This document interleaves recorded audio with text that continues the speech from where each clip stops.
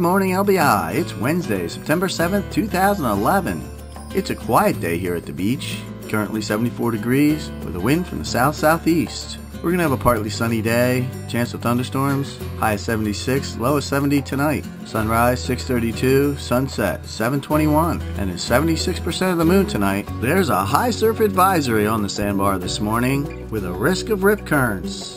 We had a low tide 10:45 a.m., high tide 4:49 p.m., and the ocean water temperatures in the 60s. So come on down to the beach, get your toes in the sand, but watch out for those rip currents and lightning bolts. Have a great day.